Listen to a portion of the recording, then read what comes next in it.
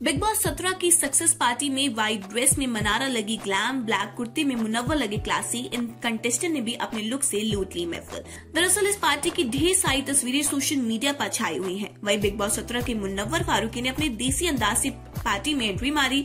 Black colour के Pathani suit में मुनव्वर काफ़ी ज़्यादा जच रहे थे। शो की second runner up Mannara Chopra भी पार्टी में छाई रही। व्हाइट कलर की ड्रेस मैचिंग बैग और हाई हील्स में वो काफ़ी ज़्यादा ग्लैमरस रह गई थी। शो के सबसे चर्चित कपल अंकिता लोखंडे और विकी जैन ने भी पार्टी में ग्रैंड एंट्री मारी। एक तरफ़ जहाँ विकी ब्लू डेनिम आउटफिट में दिखे तो वहीं दूसरी तरफ़ ब्लू कलर की हाई थाई स्लिट्स ड्रेस में अंकिता ने एक बार फिर ग्लैमर का तड़का लगा दिया। चिंटू उफ समर जुड़ैल भी सूट वूट पहने पार्टी में पहुँचे।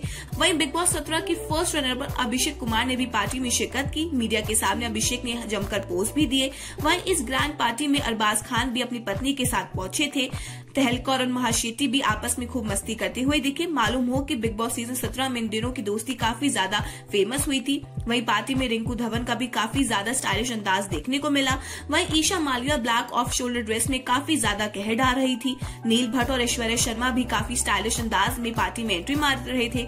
वहीं पार्टी में ओरा ने एक शाज कैरी किया हुआ था, जहाँ उन्होंने लिखा हुआ था एनआरआई कैटेगरी के विनर वहीं सना खान और नाविद ने पार्टी में एक साथ एंट्री ली। दोनों ने पेपराजी के सामने जमकर पोज भी दिए